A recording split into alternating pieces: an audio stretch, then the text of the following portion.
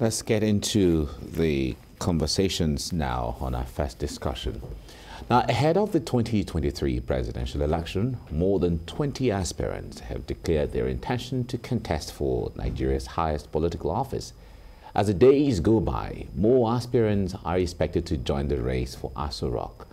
A lot of these personalities are eminently qualified for the job, hence setting the stage for a tough contest. Soon, political parties will conduct their presidential primaries and candidates will emerge to slug it out at the polls next year.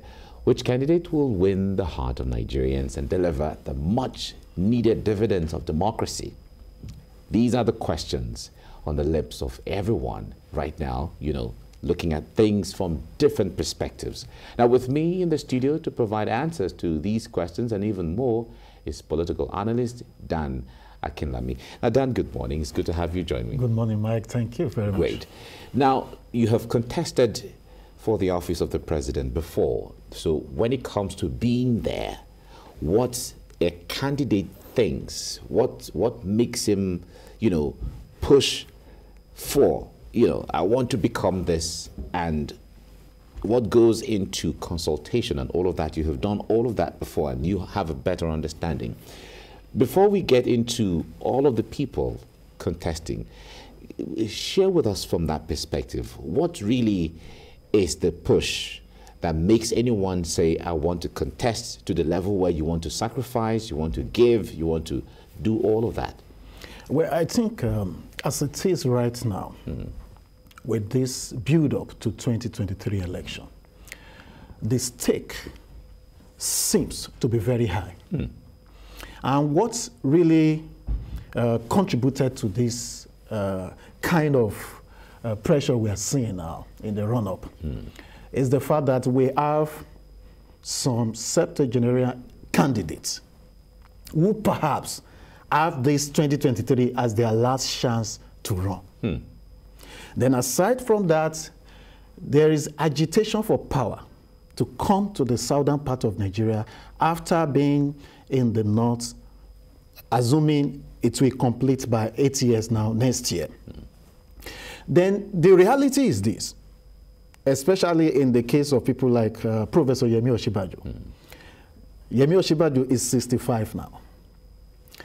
If he does not jump into this race now at 65, if somebody else from the south emerge as the president, is likely to spend eight years. Hmm. And after that eight years, there is likelihood for power to return to the north. So you had 16 years for him to have another bright chance as he's having right now. Hmm. It will probably be 81 then.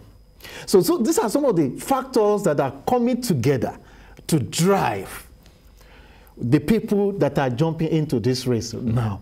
Then apart from that, we have people who believe they have a lifelong ambition. They've been nursing this for more than 30 years or 35 years. And this is the best chance. They've supported several people. They've stepped down for other people. And they consider that this is their only chance. They are also in the race too. But we also have people who perhaps all they dreamt of is to serve Nigeria. Mm. Not because of any lifelong dream, but they just want to offer themselves to serve They've identified the problems and they want to provide solution. So as much as we have these different categories of uh, uh, people with vision driving them coming into the race, this time around, what we are seeing is even like the battle of the titans. All right. No, but the point there is, is, it's quite interesting. We're hearing that uh, even more people, some former governors and so on, uh, you know, want to contest. But we're hearing that some other uh, some others might even still declare their intention today, tomorrow, you know, at the course of the week. But do we need, as much as everyone has the right to contest, if you don't have any criminal this or that, you know, the, the few restrictions that the, the, the Constitution puts there, everyone has the right to contest. But do we need all of these people in true terms? Well, nobody can actually determine the number of candidates mm.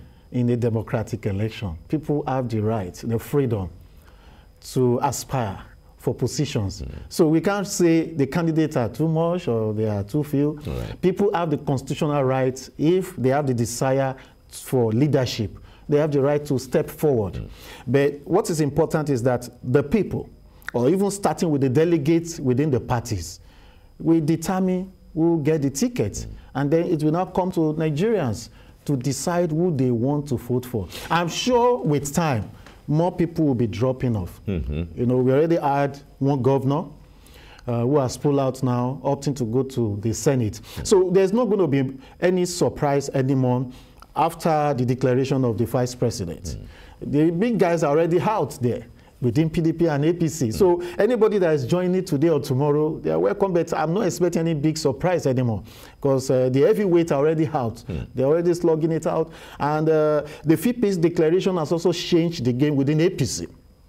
So we're going to see a very dramatic days ahead for the competition within APC's, uh, for APC tickets. Right. Let, us look at the dynamics of uh, rotational president, presidency that, that we often, or the zoning that we often talk about. Now, we often talk about the issue of, or making references to the West. It doesn't matter where the president comes from and all of that.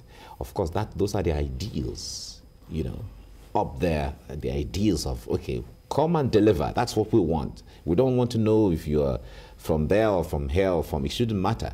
But in politics, a lot of things shape the dynamics of how we play it. Our cultures, our religion, you know, all of those things, our region, because of the history of how we have evolved generally. Shouldn't that be something we should be, or do you think that this will go away anytime soon when we talk about where the president has to come from? Because we're talking of it coming to the south right now. Power rotation in Nigeria has come to stay. Okay. Very, very, very sad to say that. But why is this sad? And because it's the reality of what is called Nigeria. Mm. The amalgamation of the northern and southern protectorates mm. has shaped the structure mm. of this country. Now, intertwined by religious forces, and cultural beliefs. It's going to be very difficult. We've started with this way back from the 60s. Mm.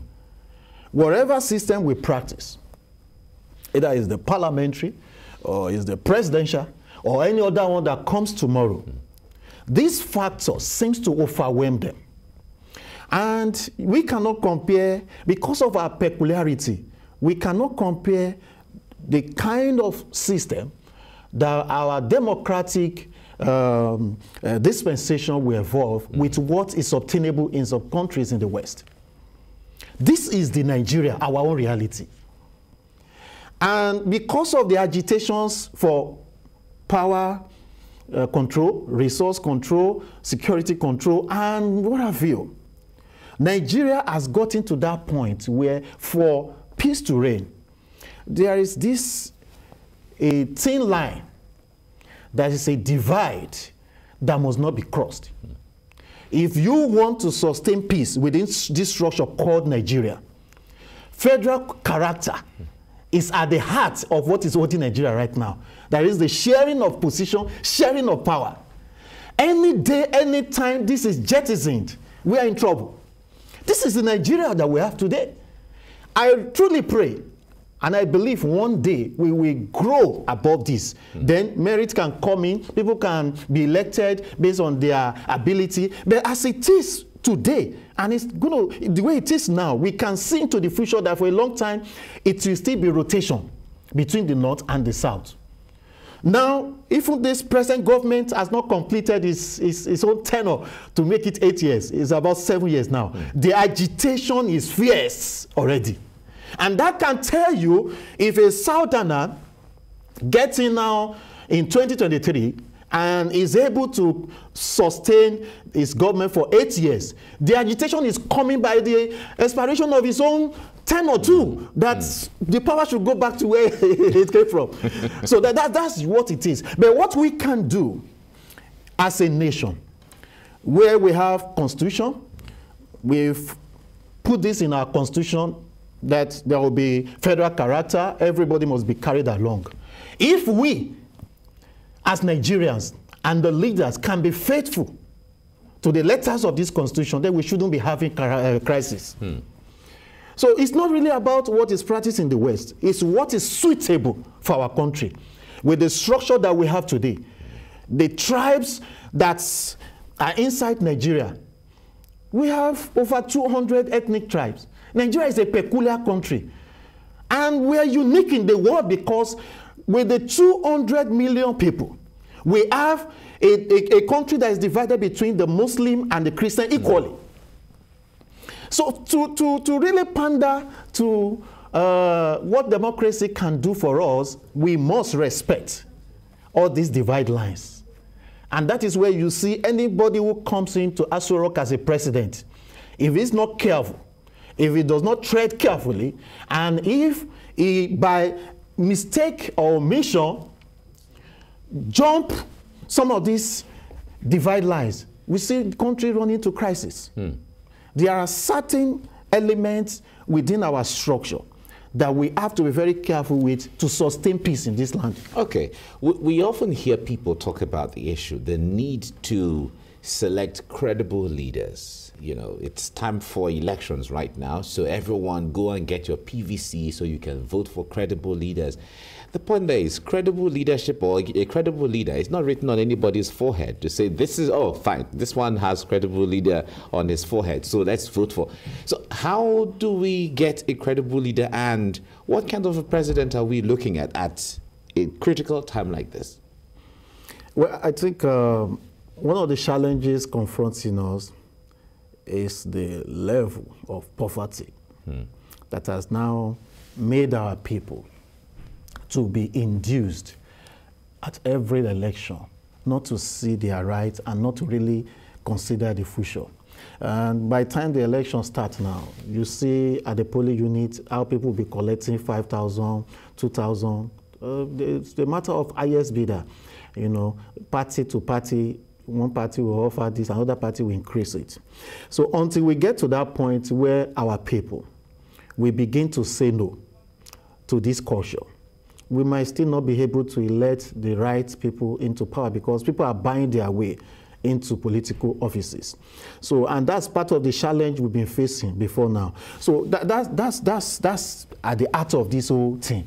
So if we can begin to address the poverty level, or the voters can begin to have independent mind, Pe mm. people can begin to see what is at stake more than the rice and beans that's being shared during the campaign. All those things are going to start very soon. You, by the time people are done with the party primaries, you start seeing the candidates, you know, with the usual stunts, stomach infrastructure. So, but our people now need to realize this. See how far this present government has gone. How much of the difference have you seen in your life, in your businesses, even the state of the economy? People need to think. So when it comes to the issue of the leadership, as you said, mm. it's not written on the face. But people's antecedents also can guide the electorate. You know, this man was part of that team that destroyed the economy. That one was part of that government that promised to fix power and they couldn't fix it. Then why do you want to extend uh, another opportunity for him to come and do worse mm. and make things worse for the country? So people's antecedents, those who have been part of the, the looting regime, they, we can identify them. Those are not the people that we should be considering for another chance again. And we should get to that point where in our democracy, we should be punishing failure. Those who have been given a term to do certain, uh, to play certain role either as governor, as senator, and they didn't do well. We shouldn't be returning them. We should begin to punish poor performance. And that's how we can get our country up. But you think, you think the, the, the electorates, who are the ultimate uh, uh, people with the power to make somebody become or not, their inability to make these choices, you think the, the blame lies on their table or on their hands? Well, we, we may not absolutely put this blame on the electorate. But uh, this is the doing of the political class. Hmm. This, this, this was built gradually. even before this uh, uh, democracy in 1999. Mm. This thing has been building over the years. Now it's, it's gotten to that point where the resistance is now looking impossible. Mm. The political class so desire this. They intentionally structure the system to be like this. It's at their favor as it is right now. So it will only take some dynamics of maybe some surprise element coming on in an election like this to turn this around. And you cannot ever place it here or there because we've seen it happening in some other countries, even in Africa. But the fact that we can say this system can be defeated, mm. This system can be stopped, it will take a lot of work for it to be stopped as it is right now. Because some people are actually still banking on this to win election in mm -hmm. 2023. Mm -hmm. As it is right now, look at what is happening in PDP. The presidential uh, form is placed at 40 million, is for the highest bidder. You know, so how many young people can afford to drop 40 million naira to pick from within PDP for presidential race mm. right now? Now I can see that some of the candidates that managed to pick are already grumbling that P PDP should do something. This does not even portray the party well because some people inside PDP are already boasting that all of you can go to hell. I have the delegates, you know, and they know how to sort out and buy the delegates at the uh, primary. So as long as this culture continue, we might not be able to have the best and the most brilliant Nigerians emerging, you know, uh, at the, the top to lead the country.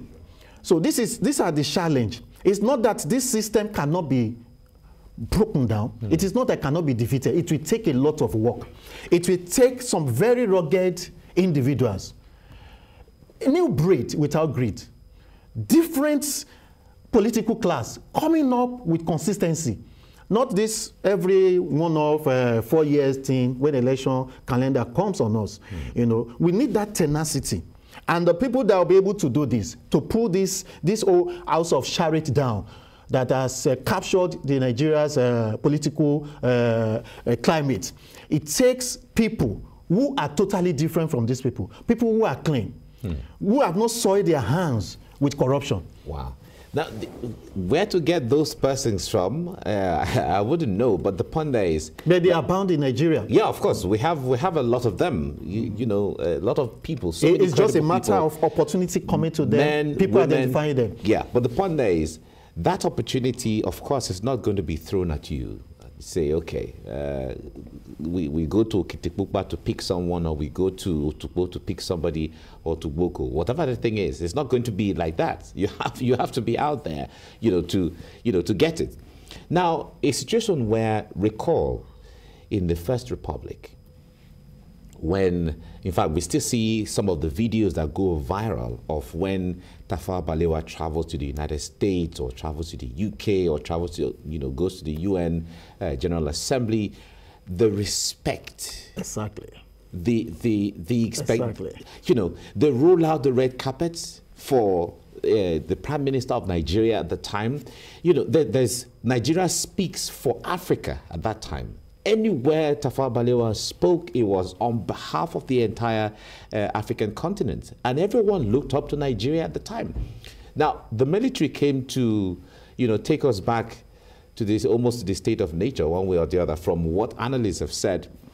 Uh, but if we have to start bringing back, because we have had it before, it's not like it's something strange. We had the formula before. We had the, the 1963 Republican constitution that spelled out a lot of things that, you know, were the days of the prosperity of Nigeria. What would it take to go back to the archives, dust all of those things, bring it back and say, hey, fine, this was the formula we had that time when everybody was making uh, reference to the fact that uh, the, the Nigeria, the naira was even higher than the dollar and things like that. How do we get back? What would it take to get back to that standard? We're very, very sad where we found ourselves now. Mm. Like the, this Tafawa Balewa era you just mm. mentioned, looking like the golden era, true golden era of mm. Nigeria. And I remember then, even when he had state visits to United States, hmm. he addressed the U.S. Congress. Exactly. How many Nigerian leaders, presidents, mm. has gotten such opportunities since then? Because they do not present themselves in such manner in the international community. Nigeria then was a force to be reckoned with, not only in Africa, but globally. They were looking up to Nigeria. Our naira had more value mm. than the British pound. Mm. Then. But now, where's Nigeria today? Look at this Ukraine and the Russian crisis. Look at all the global crisis, all the things. Where's Nigerians' voice? Nowhere to be found. It's unfortunate. Now, see where we are. We have leaders that people cannot beat their chests and say that these are people that are making this nation proud. These are leaders today that cannot face infrastructure, even including health infrastructure. They all run from the head down to governors from everywhere. They run abroad for medical treatment. There was a time in Africa when we had leaders like Tafawa Balewa, Nkrumah, mm. And many of mm. them, it's a thing of shame if you cannot provide medical facility infrastructure for your people mm. and you run out there to go and patronize one outside your country. It's a thing of shame. But where is the shame today? It's nowhere to be seen. People now do this boldface. We don't, they don't send us. They don't send the country. Where is the patriotism? So that's, that's the challenge we're facing today. We are now looking like our shadow as a country. But this is another chance again to go into another election. Mm. These are the things that our people must begin to look at, must begin to think about. I wish the First Republic was not terminated. Whatever the challenges we're facing then, we would have grown out of those mm. challenges with mm. time. Exactly we would have evolved with a better system. But now, see where we are now. We are like in a system where some people within the political class have captured the system to their advantage. If you don't have money, if you don't belong to some caucus or cabal, you can't break in to go provide alternative leadership to help the country. So it's, it's, it's the, the race now is a matter of the highest bidders. Mm. People go into all these primaries even before primary day, they already know who the winner is. And somebody will put $5,000 down for delegates. And then the highest bidder will just come overnight and top everything and double it to $10,000. And then the dele delegate will be smiling to the, uh, to the banks. Uh, to the banks. Hmm. So we need to get our country out of this. And the question that we've been talking about is how can we get this done? Mm. This is another election now. Mm. And what our people need to begin to look at? What we are facing in Nigeria may look like facing the giants. The structure that look like a pharaoh. But pharaohs, they usually fall. The giants usually fall. So that's why our people need to rise up.